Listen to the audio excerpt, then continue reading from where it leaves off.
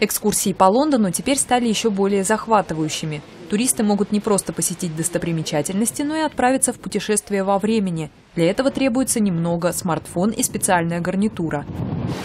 Это исторический замок на берегу Темзы, который был построен в конце XI века. А вот как эта местность выглядела 750 лет назад, в 1255 -м. Uh, Мы просто накладываем на нынешнюю инфраструктуру ту, которая была в районе замка в 13 столетии. Например, сегодня здесь есть Starbucks, есть башня и осушенный ров.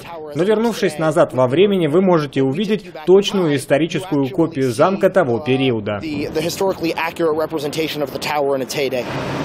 Технологию разработали два британца-энтузиаста. По их мнению, впечатление от посещения исторических мест не соответствует современному уровню развития.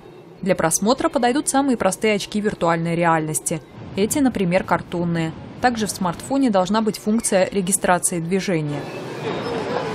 Это район недалеко от собора Святого Павла. Здесь можно увидеть, как 350 лет назад, в 1666 в Лондоне боролись с Великим пожаром.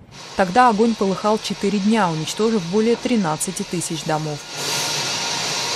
Исторические культурные достопримечательности, у них у всех удивительная история. Но сегодня по-настоящему вникнуть в эту историю не получается.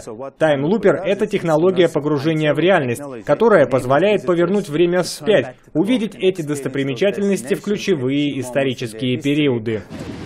Новые изобретения уже используют туристические гиды. Рут Полинг почти каждый день приводит посетителей на Трафальгарскую площадь. Здесь она позволяет им увидеть то, что произошло 23 сентября 1940 года. Возле колонны Нельсона взорвалась бомба во время авиаудара самолетов нацистской армии.